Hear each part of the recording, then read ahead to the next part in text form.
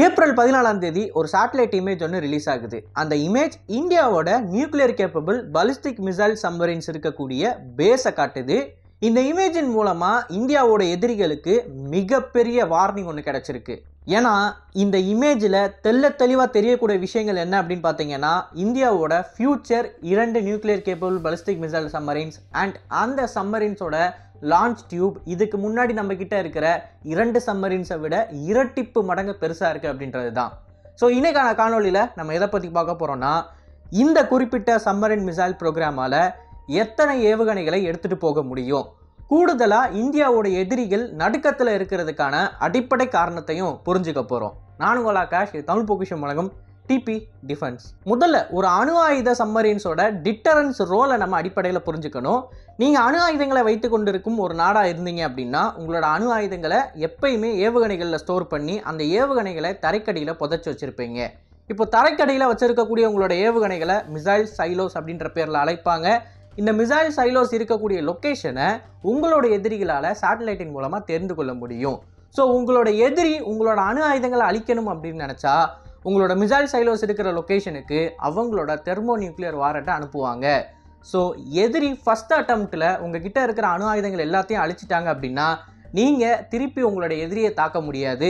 போரில் தோற்று போயிடுவீங்க இந்த பிரச்சனையை சமாளிக்கிறதுக்கு தான் உலகம் முழுக்க அணு ஆயுதங்களை வைத்திருக்கும் நாடுகள் நியூக்ளியர் ட்ரையட் அப்படின்ற ஃபார்முலாவை ஃபாலோ பண்ணுறாங்க இதன்படி கணிசமான அளவுக்கு தரையில் ஏவுகணைகள் வச்சுருப்பாங்க. அண்ட் போர் விமானங்களின் மூலமாக லான்ச் பண்ணுற மாதிரியான ஏவுகணைகளையும் வச்சுருப்பாங்க. இது போக கடலுக்கடியில் சம்மரின்ஸில் ஏவுகணைகளை ஒழிச்சு வச்சுருப்பாங்க. ஸோ எதிரிகளால் உங்களோட விமான படைத்தளத்தை தாக்க முடியும். தரையில் இருக்கக்கூடிய உங்களோட அணு ஆயுத ஸ்டோரேஜ் ஃபெசிலிட்டிஸை தாக்க முடியும். ஆனால் கடலுக்கு அடியில் உலகத்தில் ஏதோ ஒரு மூலையில் இருக்கிற உங்களோட நியூக்ளியர் கேப்பபிள் பலிஸ்டிக் மிசைல் சம்மரின்ஸை ஒரே அட்டாக்ல தாக்க முடியாது. ஏன்னா இந்த சம்மரின்ஸை ட்ரேஸ் பண்ணுறது ரொம்ப ரொம்ப கடினம். இது உங்களோட எதிரி நாடுகளுக்கு பக்கத்திலேயே போகாது. அந்த நாடுகளை விட்டு தள்ளி தான் இருக்கும். ஸோ இந்த ஒரு குறிப்பிட்ட தொழில்நுட்பத்தை தான் நம்ம நியூக்ளியர் கேப்பபிள் பலிஸ்டிக் மிசைல் சம்பரின்னு சொல்கிறோம் அண்ட் இந்த தொழில்நுட்பம் இருக்கிற ஒரு நாட்டோட அணு ஆயுதங்களை உங்களால் முற்றிலும் முதல் ஸ்ட்ரைக்கை அழித்து விட முடியாது. ஸோ உங்களோட எதிரிகளுக்கு ஒரு விஷயம் நல்லா தெரியும். எதிரிகள் உங்களுக்கு எதிராக இந்த ஆயுதங்களை ஏவி உங்களோட nuclear capable land based silos and விமானப்படை தளத்தில் இருக்கக்கூடிய சைலோஸை தாக்கி அழிச்சிட்டாலும் உங்களோட கடலுக்கடியில் இருக்கிற அந்த ஒரு ஆசட்டை அவங்களால தொட முடியாது. ஸோ அந்த ஆசட்லேருந்து உங்களோட எதிரிகளுக்கு எதிராக நீங்கள் திருப்பி அணு ஆயுதங்களை ஏவ முடியும். ஸோ இந்த கேப்பபிலிட்டி இருக்குது அப்படின்றதுனால உங்களோட எதிரி உங்களுக்கு எதிராக அணு ஆயுதங்களை பயன்படுத்த மாட்டாங்க. ஸோ இந்த குறிப்பிட்ட தொழில்நுட்பத்தோட அடிப்படையை என்ன அப்படின்னு பார்த்தீங்கன்னா போர் செய்கிறது கிடையாது. ஒரு போர் அந்த நாட்டுக்கு வராமல் தடுக்கிறது தான். இதன்படி இந்தியாவோட இரண்டு எதிரிகளான சீனா மற்றும் பாகிஸ்தான் கிட்ட அணு ஆயுதங்கள் இருக்குது இந்த அணு ஆயுதங்கள் நமக்கு எதிராக பயன்படுத்தக்கூடாது அப்படின்றத நம்ம இந்த தொழில்நுட்பம் நம்மக்கிட்ட இருக்கிறதன் மூலமாக தான் உறுதி செய்ய முடியும். அதன் காரணமாக தான் நம்ம எஸ் த்ரீ எஸ் டூ அப்படின்னு சொல்லி இதுக்கு முன்னாடி இரண்டு நியூக்ளியர் கேப்பபிள் பலிஸ்டிக் சம்மரின்ஸை நம்ம உருவாக்குறோம். இந்த சம்மரின்ஸ் எல்லாமே நியூக்ளியர் பவர் அதாவது இந்த சம்மரின் ஒன்ஸ் தண்ணி கடியில் போயிருச்சு அப்படின்னா அந்த சம்மரினில் இருக்கிற உணவு தண்ணீர் தீர்ற வரைக்கும் அதால் தண்ணிக்கடியிலே இருக்க முடியும். இந்த தண்ணியும் உணவுப் பொருளும் தீந்து போய் அங்கே இருக்கிற மாணவிகளுக்கு சப்ளைஸ் வேணும் அப்படின்றப்ப தான் இந்த கப்பல் தண்ணிக்கு மேலேயே வரும். அந்த அளவுக்கு நியூக்ளியர் ப்ரொபல்ஷன் அப்படின்னு சொல்லக்கூடிய தொழில்நுட்பத்தை இதில் பயன்படுத்துவாங்க. அண்ட் இந்த சம்மரின் தண்ணிக்கு மேலேயே வராது அப்படின்றப்ப மாதக்கணக்காக தண்ணிக்கு மேலே வராமல் இருக்கும். உதாரணத்துக்கு ரஷ்யாவோட nuclear capable ballistic missile submarine எல்லாம் தொடர்ந்து எட்டு மாதம் தண்ணிக்கடியிலேயே இருக்க முடியும். அதுவும் ஆர்டிக்கில் ஆர்டிக்கில் ஐஸுக்கடியில் இருக்க முடியும். இந்த அளவுக்கு எக்ஸ்ட்ரீமான ஒரு டெம்பரேச்சரையும் இந்த அளவுக்கு ரொம்ப மோசமான கடல் பகுதிக்கு அடியிலேயே இந்த சம்மரின்ஸ் இருக்கிறதுனால அமெரிக்கர்களால் இந்த சம்மரின் எங்கே இருக்குன்றதை கண்டுபிடிக்க முடியாது இதை தாக்கி அழிக்க முடியாது. அது ரொம்ப ரொம்ப கஷ்டம். என்னதான் அவங்க வருஷ வருஷம் ஆர்டிக் பகுதியில் போய் எக்ஸசைஸில் ஈடுபட்டாலும் ரஷ்யாவோட நியூக்ளியர் அட்டாக் சம்மரின்ஸை தான் அவங்களால டிடெக்ட் பண்ண முடியும். ஏன்னா இந்த நியூக்ளியர் அட்டாக் சம்மரின்றது அமெரிக்க சம்மரின்ஸை நோக்கி போகும் அமெரிக்க மிலிட்டரி ஆசட்ஸை நோக்கி போகும். ஆனால் நியூக்ளியர் கேப்பபிள் பலிஸ்டிக் மிசைல் சம்மரின்றது அமெரிக்க ஆசட்ஸை விட்டு தள்ளி நின்று பேசிக்காக ஒளிஞ்சு பிடிச்சி ஆடுறப்ப கேட்சரை விட்டு எவ்வளோ தூரம் தள்ளி போகிறோமோ அந்த மாதிரி போகும்.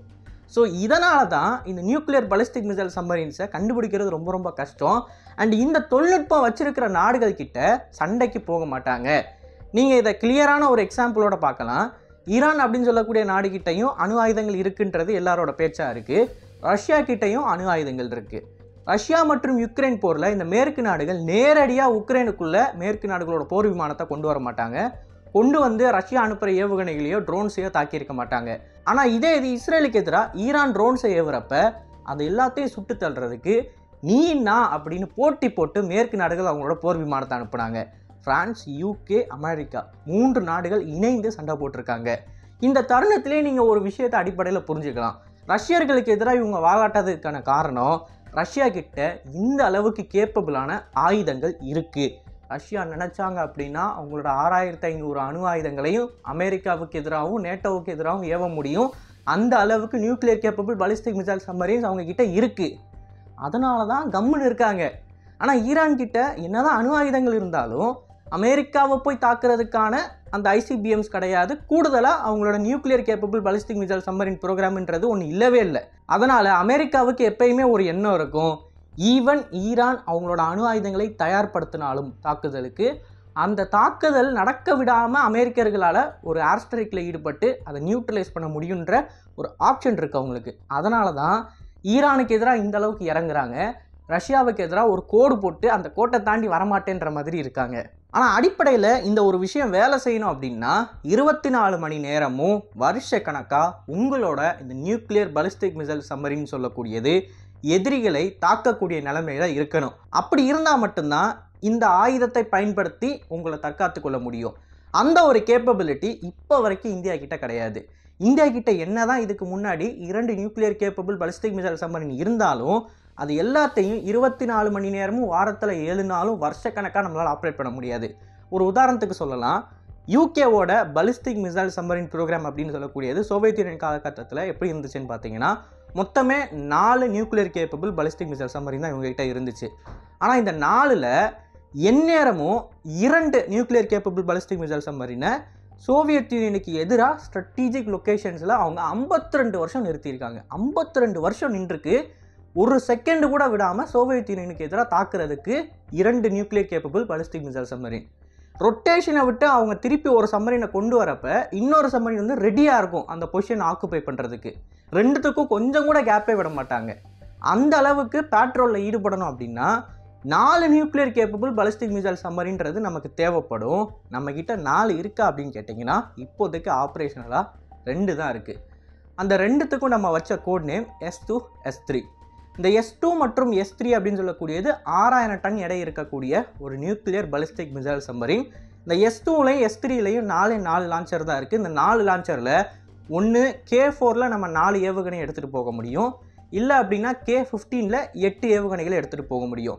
கே ஃபிஃப்டீனுக்கு எழுநூற்றம்பதுலேருந்து ஆயிரம் கிலோமீட்டர் ரேஞ்ச் இருக்குது கே ஃபோருக்கு மூவாயிரத்தி ஐநூறுலேருந்து நாலாயிரம் கிலோமீட்டர் ரேஞ்ச் இருக்குது இப்போ இந்த இரண்டு சம்மரின்ஸும் கன்ஸ்ட்ரக்ஷன் முடிஞ்சு நம்மளோட நேவியில் இண்டெக்ட் ஆயிருச்சு. இரண்டாயிரத்தி பத்தொம்போதில் சீனாவில் நடந்துகிட்டு இருந்த அந்த ஸ்டாண்ட் ஆஃப் அதாவது லேண்ட் பார்டரில் நம்ம ஸ்டாண்ட் ஆஃப் பண்ணிக்கிட்டு இருந்தப்ப இந்த நியூக்ளியர் கேபிள் பலிஸ்டிக் மிசைல் சம்மரின்ஸை சீனாவுக்கு எதிராக கடல் பகுதிக்குள்ளே நம்ம அனுப்பணும் அதாவது நீங்கள் அங்கே பார்டரில் எங்களை தாக்கி எங்களுக்கு எதிராக அணு ஆயுத போகிற ஆரம்பிச்சீங்க அப்படின்னா இந்த சம்மரின்ஸ் மூலமாக நாங்களும் உங்களுக்கு எதிராக அணு ஆயுத போகிற ஆரம்பிப்போம்னு சொல்லி இது எல்லாத்தையுமே நம்ம அனுப்பியிருந்தோம்.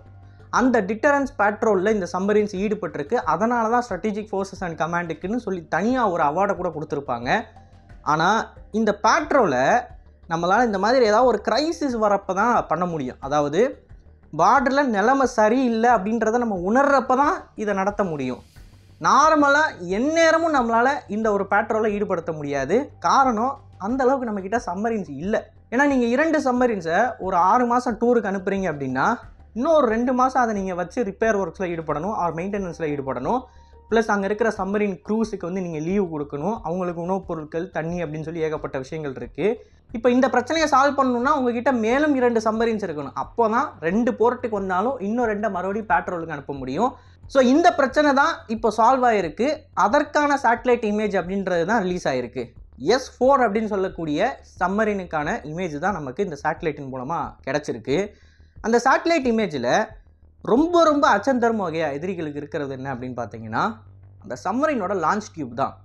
வழக்கத்துக்கு மாறா இந்த சம்மரின் அதோட லான்ச் டியூப்பை காட்டுது சேட்டலைட்ஸுக்கு இது வாண்டடாக இந்தியா சைட்லேருந்து பண்ணியிருக்காங்க அப்படின்னு தான் சொல்லணும். ஏன்னா நம்மளோட சம்மரின் ப்ரோக்ராம் அப்படின்றது எந்த அளவுக்கு அட்வான்ஸ்டாக இருக்குது எந்த அளவுக்கு கேப்பபிளாக இருக்கும் அப்படின்றத நம்மளோட எதிரிகளுக்கு உணர்த்திக்கிட்டே இருக்கணும். அதனால் வாண்டடாக இந்தியா இதை பண்ணியிருக்கோம் அப்படின்னு தான் எல்லாருமே எதிர்பார்க்குறாங்க. அந்த லான்ச் டியூப் அப்படின்றது சேட்டலைட்டில் விசிபிளாக இருக்குது இல்லையா? அதன் மூலமாக நம்மளுடைய எதிரிகள் தெரிஞ்சுக்கக்கூடிய விஷயம் எஸ் டூ எஸ் த்ரீயை கம்பேர் பண்ணுறப்ப எஸ் ஃபோர் எஸ் ஃபோர் ஸ்டாரில் இருக்கக்கூடியது மிகப்பெரிய லான்ச் டியூப்ஸ் அதாவது ஹம்ப் அப்படின்னு சொல்லுவாங்க. வழக்கமாக இந்த மாதிரி நியூக்ளியர் கேப்பபிள் பலிஸ்டிக் மிசைல் சம்மரினில் அந்த பலிஸ்டிக் ஏவுகணைகளை எங்கே ஸ்டோர் பண்ணி வச்சுருக்காங்களோ அந்த இடத்துல மட்டும் ஒரு ஹம்ப் இருக்கும். ஒட்டக சிவிங்கிலேருந்து எப்படி ஹம்ப் இருக்குது அந்த மாதிரி இந்த சம்மரினில் ஒரு ஹம்ப் இருக்கும். அந்த ஹம்ப் எதுக்கு இருக்குது அப்படின்னு பார்த்தீங்கன்னா மிகப்பெரிய ரேஞ்சில் இருக்கக்கூடிய பலிஸ்டிக் ஏவுகணைகளை ஸ்டோர் பண்ணி வைக்கிறதுக்கு தான் இருக்குது நீங்கள் சாதாரணமாக ஒரே சைஸில் இருக்கக்கூடிய ஒரு நியூக்ளியர் பலிஸ்டிக் மிசைல் சம்மரினில் இவ்வளவு தூரம் தாக்கக்கூடிய ஏவுகணைகளை பொருத்த முடியாது. ஸோ அதனால் அந்த ஒரு ஏவுகணையில் ஸ்டோரேஜ் செய்யப்பட்டிருக்கிற இடத்துல மட்டும் ஹம்ப் இருக்கும். ஸோ அடிப்படையில் இந்த ஹம்ப் காட்டக்கூடிய விஷயம் என்ன அப்படின்னு பார்த்தீங்கன்னா இதோட ஸ்டோரேஜ் அப்படின்னு சொல்லக்கூடியது இரண்டு மடங்கு அதிகமாக இருக்கும். பழைய சம்மரின்ஸை கம்பேர் பண்ணுறப்ப அண்ட் அதே சமயம் பழைய சம்மரினில் நீங்கள் அதிகபட்சம் வைக்கக்கூடியதே கே ஃபோர் அப்படின்னு சொல்லக்கூடிய ஏவுகணை தான். அதோட ரேஞ்சு மூவாயிரத்தி ஐநூறு கிலோமீட்டரு ஆனால் இந்த குறிப்பிட்ட எஸ் ஃபோர் மற்றும் எஸ் ஃபைவ்ல நீங்கள் பத்தாயிரம் கிலோமீட்டர் ரேஞ்ச் இருக்கக்கூடிய ஏவுகணைகளையும் பொருத்த முடியும். அந்த ஹம்ப் இருக்கிறதுக்கான காரணமே அந்த சைஸில் இருக்கிற ஏவுகணையை உள்ளே ஃபிட் பண்ணுறதுக்கு தான் ஸோ இதனால தான் நம்மளோட எதிரிகள் பார்த்து பயந்துக்கிட்டு இருக்காங்க. எஸ் ஃபோர் மற்றும் எஸ் ஃபோர் ஸ்டார் அப்படின்னு சொல்லக்கூடிய இந்த சம்மரின்ஸ் எல்லாமே இப்போது கன்ஸ்ட்ரக்ஷன் ஃபைனல் ஸ்டேஜில் இருக்குது இந்த சேட்டலைட் இமேஜில் அதுவுமே நமக்கு தெரியுது. எஸ் ஃபோருக்கு வந்து இண்டக்ஷன் டேட்டு இரண்டாயிரத்தி இருபத்தி நாலு இந்த வருஷம்னு சொல்லி கொடுத்துருக்காங்க. எஸ் ஃபோர் ஸ்டார் வந்து அடுத்த இரண்டு வருஷங்களில் நம்மளோட நேவியில் இண்டக்ட் ஆயிரும் அப்படின்றதை சொல்கிறாங்க ஸோ இன்னொரு மூணு வருஷத்துக்குள்ளே இந்தியா கிட்ட எட்டாயிரம் பத்தாயிரம் கிலோமீட்டர் ரேஞ்ச் இருக்கிற பலிஸ்டிக் ஏவுகணைகளை கொண்ட ஒரு நியூக்ளியர் கேப்பபிள் பலிஸ்டிக் சம்மரின் இருக்கும். அண்ட் அதே சமயம் இருபத்தி நான்கு மணி நேரமும் வாரத்தில் ஏழு நாளும் கிட்டத்தட்ட ஐம்பது நூறு வருஷத்துக்கு பேட்ரோலிங் செய்யக்கூடிய கேப்பபிலிட்டி நமக்கு இந்த நாலு சம்மரின் மூலமாக கிடைக்கும்.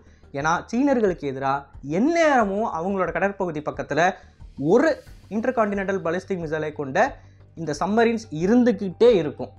இதை நம்மளால் உறுதி பண்ண முடியும். இந்த கேப்பபிலிட்டி நமக்கு இருக்கிறதுனால தான் நம்மளோட எதிரிகள் இப்போ மிகப்பெரிய அளவில் அச்சத்தில் இருக்காங்க. ஸோ ரீஜனல் லெவலில் இந்தியாவுக்கு எந்த விதமான த்ரெட்டும் வரவிடாமல் பார்க்குறதுக்கு இந்த ஒரு சம்மரின் ப்ரோக்ராம்ன்றது நமக்கு ரொம்பவே உதவிகரமாக இருக்கும். ஸோ இன்றைக்கான காணொலியில் இந்த சம்மரினை பற்றி நம்ம பேசியிருப்போம். இதை பற்றின உங்களோட கருத்துக்களை மறக்காமல் கமிஷனில் பதிவிடுங்க. அண்ட் இது போல் பல தகவல்களை நீங்கள் தெரிஞ்சுக்கணும் அப்படின்னு நினச்சிங்கன்னா சேனலையும் சப்ஸ்கிரைப் பண்ணிக்கோங்க. நல்லதை இப்போ இருந்து நல்ல சுபதாயத்து உறக்கும் நன்றி. வணக்கம்.